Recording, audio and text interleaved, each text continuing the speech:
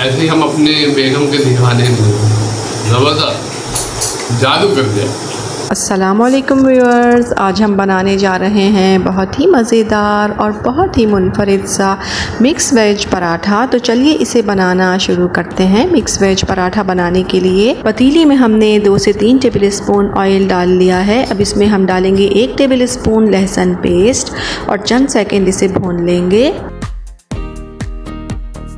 अब इसमें शामिल करेंगे तकरीबन दो से तीन टेबल स्पून पानी ताकि हमारा मसाला जले ना।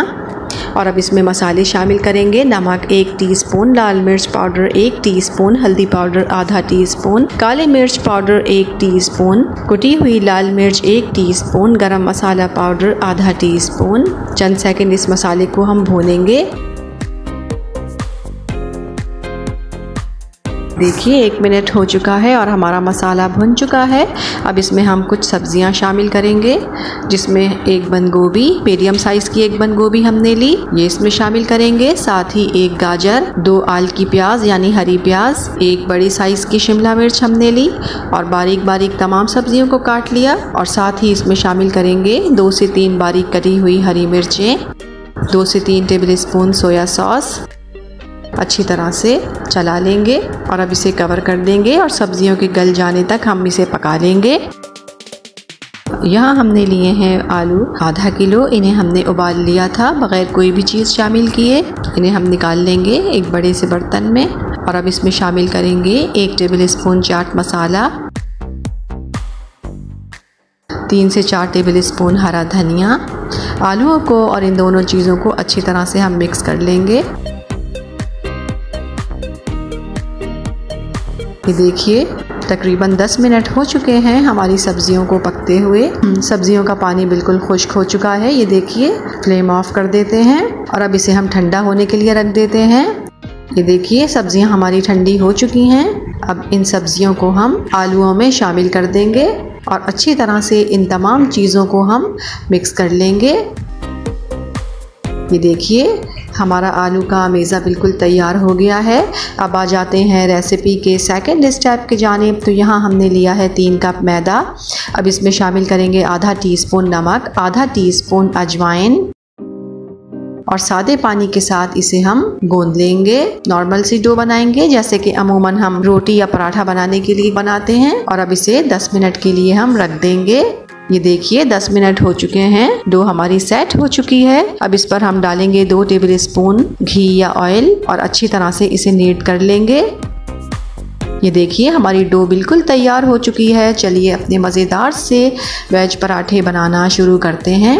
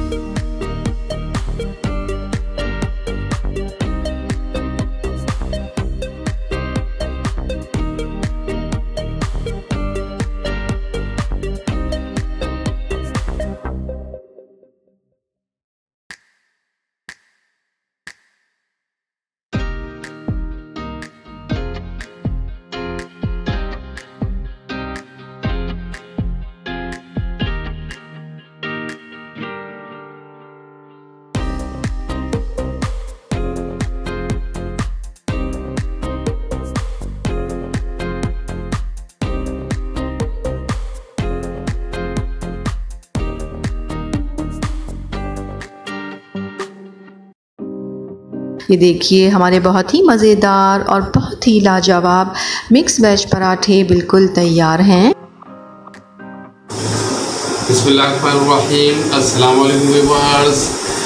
बेगम ने आज जो है वेज मिक्स पराठा बनाया। मिक्स वेज पराठा बनाया है जिसका मैं रिव्यू देने जा रहा हूँ। देख सकते हैं कि माशाल्लाह जो है ज़बरदस्त लग रहा है देखने में। अब मैं इसका रिव्यू देता हूँ।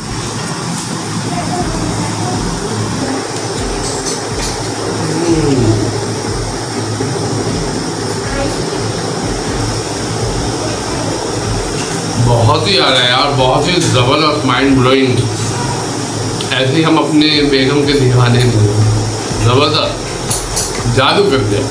इस रेसिपी को ट्राई ज़रूर कीजिएगा। पसंद आई तो लाइक कीजिएगा। चैनल को सब्सक्राइब कीजिएगा। और अपना बहुत ख्याल रखिएगा। अल्लाह हाफिज़।